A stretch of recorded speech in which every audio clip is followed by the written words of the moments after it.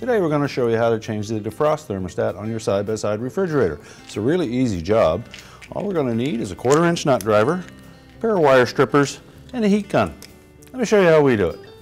Now before we begin this repair, the first thing we'll need to do is pull the refrigerator out far enough to remove the plug.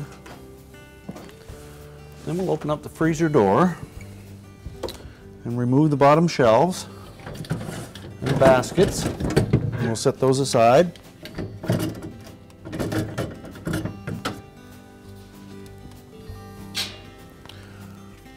We next need to remove the screws that secure the evaporator cover on. There should be five quarter inch hex head screws that hold that in place.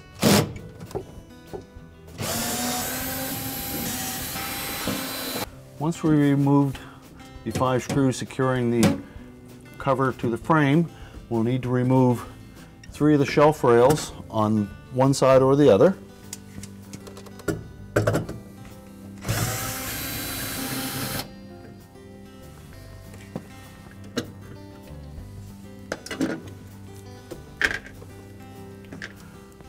Shelf rails removed, we can tilt that evaporator cover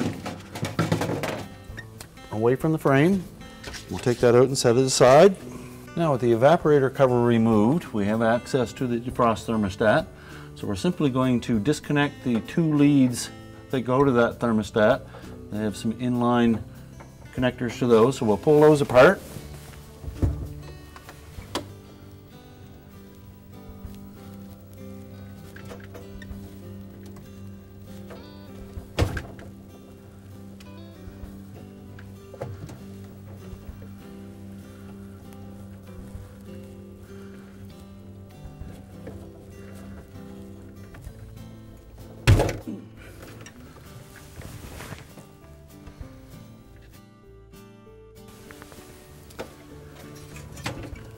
Now with the leads removed, we can disconnect the clamp from the thermostat.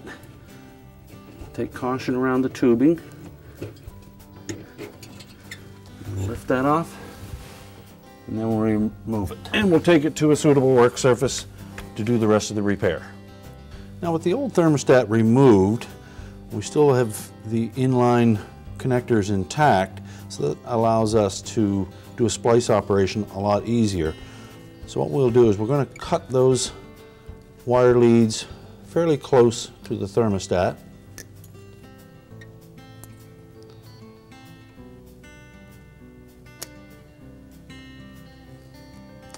We'll cut both leads fairly close.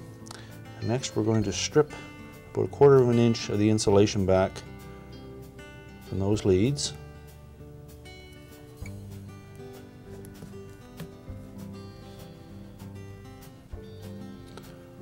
Inspect that copper to make sure that it's nice and bright and it's not corroded. And we'll take these butt splice connectors, slide those over the wire until it's fully inserted, and then we'll crimp those in place.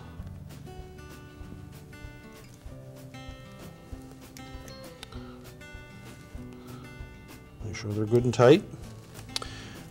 Now we'll simply trim the ends of the new thermostat leads.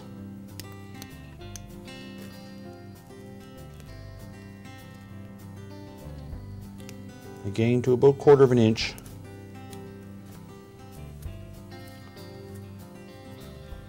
Just twist them a bit so they'll fit into the butt splice connector easier. We need to make sure that we have enough room over those inline connectors to slide our heat shrink tubing on.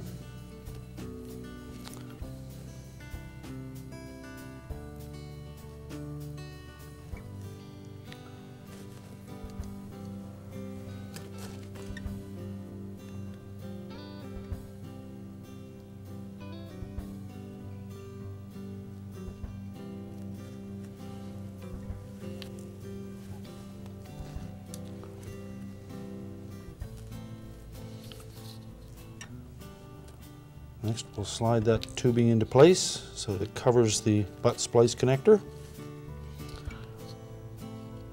And then we'll heat that with a heat gun.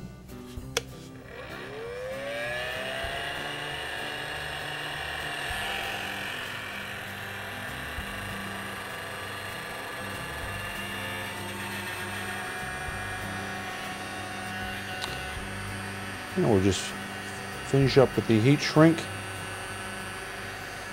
Make sure it adheres to the butt splice connector.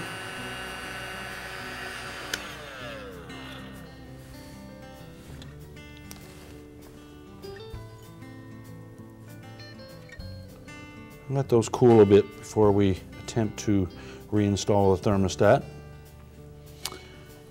And the thermostat comes with a new mounting clip that we'll use. The thermostat will line up with a hole in the mounting clamp and then we'll just snap that around the suction line to the evaporator. Now that we have the leads attached to our new thermostat, we're ready to install that in place. Now, when installing the new thermostat, we're going to set that about an inch back from the aluminum to copper joint there, so it's going to sit right about here. First step will be to slide the mounting clip on.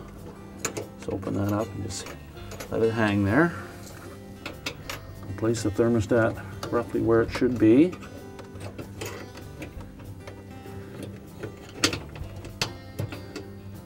We'll line up the hole in the top of that mounting clamp with the button on the thermostat. Hold it in place and clip it on. Next, we'll reconnect the wire leads.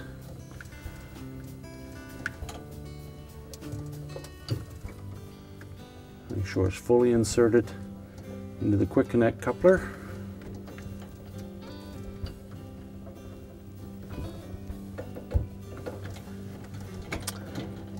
And now we can reroute those wire harnesses into the retaining clip on the back wall.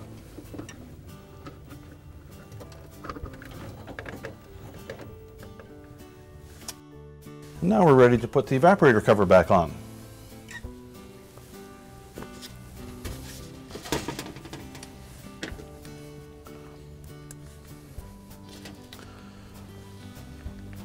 So we'll position that into place.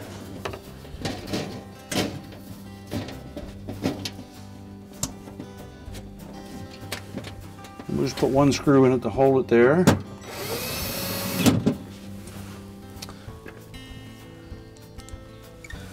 Line up the rest of the holes, make sure they're all going to line up. Install the remaining screws.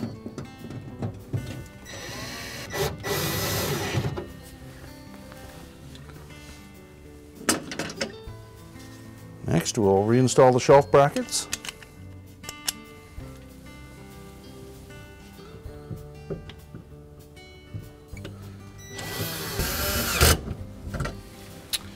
Now we can reinstall the shelving and the baskets.